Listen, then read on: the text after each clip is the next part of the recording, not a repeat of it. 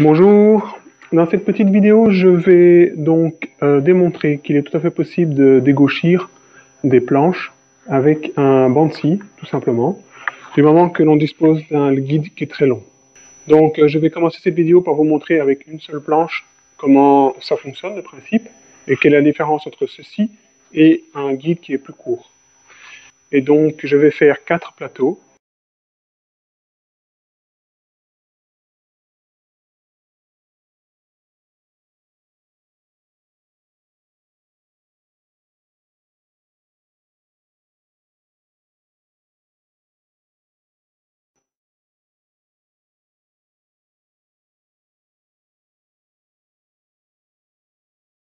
Voici.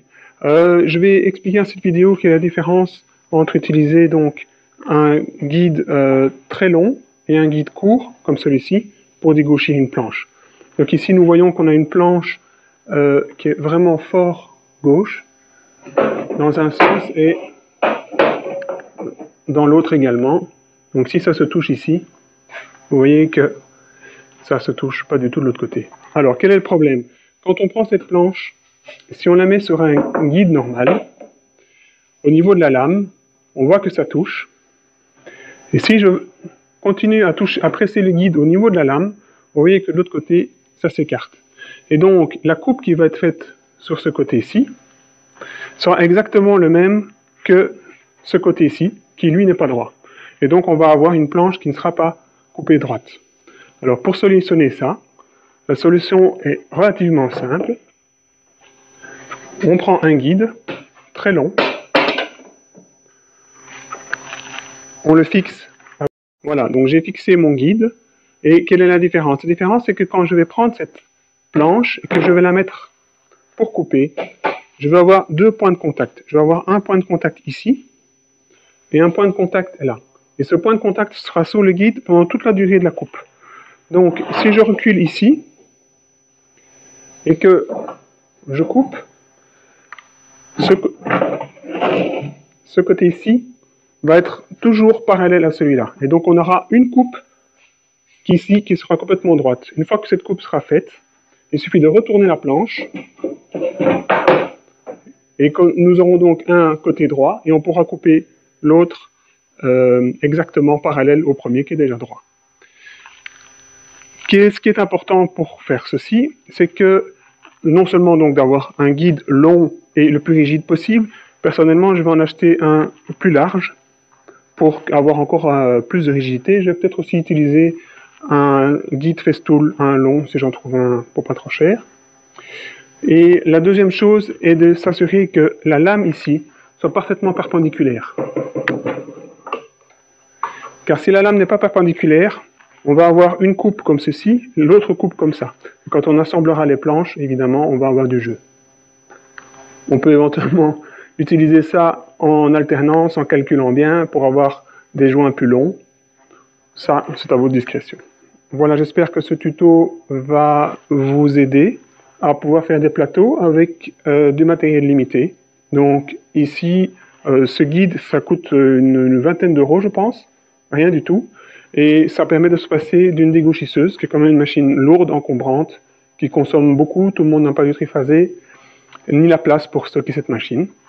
Et voilà. Euh, bien sûr, vous aurez toujours besoin d'une raboteuse si vous achetez des planches aussi mauvaises que celle-ci. L'idée, c'est que en grande surface, on trouve souvent des planches qui sont plus ou moins bien rabotées sur ces faces-ci, mais qui sont quand même généralement pas suffisamment rectilignes pour faire des plateaux. Et donc, si vous achetez des planches en grande surface, euh, vous pourrez quand même faire des plateaux juste avec votre table ici. Donc une dernière chose que je voudrais mentionner, c'est euh, la longueur du guide. Ici, j'ai un guide de 3 mètres, ce qui permet normalement de faire plus ou moins 1m50, 1m60 avant la lame et également après.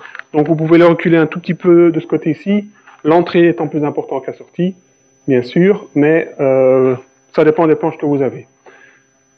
Si vous voulez faire des planches plus longues, il faudra un guide plus long évidemment.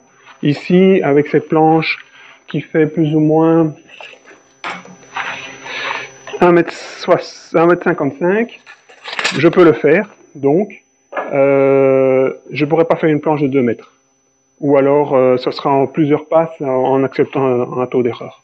Je peux faire une passe d'un côté, puis je retourner la planche, refaire l'autre passe, et puis encore la retourner, faire une troisième. Ça permettrait d'avoir des côtés parallèles, mais c'est pas idéal.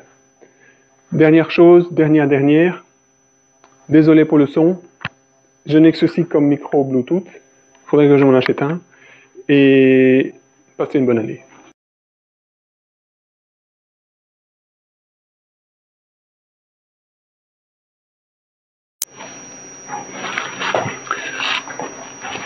Bonjour. Aujourd'hui, je vais vous montrer comment on peut dégauchir un tas de planches gauche au banc de. Ça va être assez simple. Euh, je ne retrouve pas mon push stick, donc évitez-moi les remarques style euh, vous travaillez pas sécurisé. Je vais faire très attention, mais bon, ça arrive.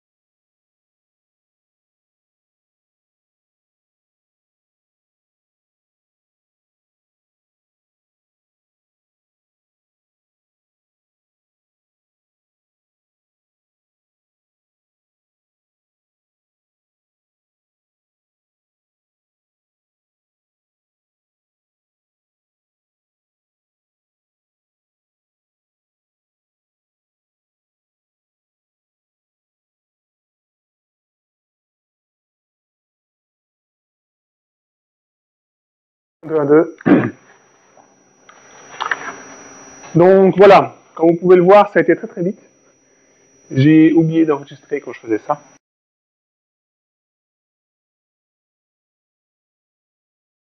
Mais je vais le refaire avec des dimensions plus petites, comme ici. Et donc, euh, je vais filmer ça. Je vais vous montrer le résultat quand même.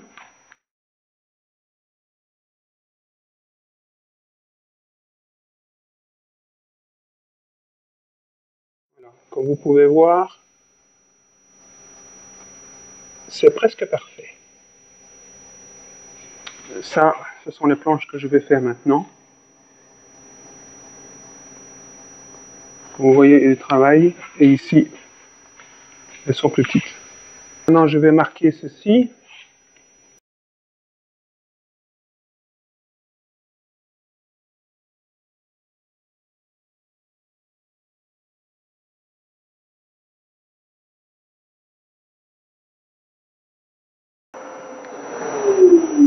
Bon, ce morceau-ci,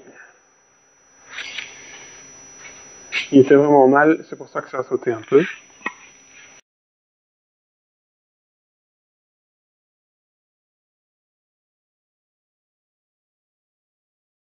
Et donc, euh, voilà le travail. il y a juste cette planche-ci qu'il faudra éventuellement reprendre. Voilà. Bon, cette planche-ci, elle est vraiment mauvaise, elle n'est pas assez épaisse. Donc je vais l'enlever.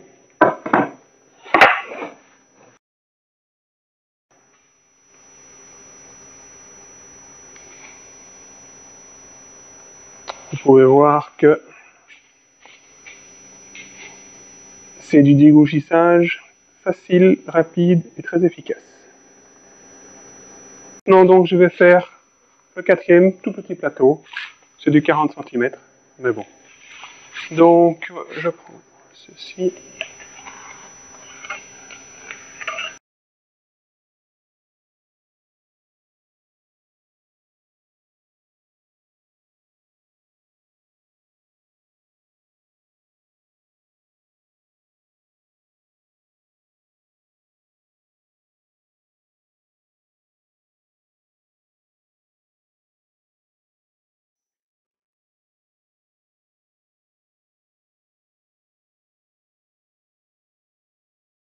Voilà le résultat. Donc maintenant le plateau est sous presse et est collé.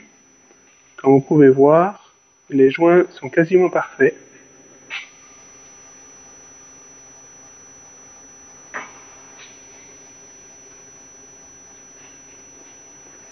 Et ceci très facilement et sans machine spécifique?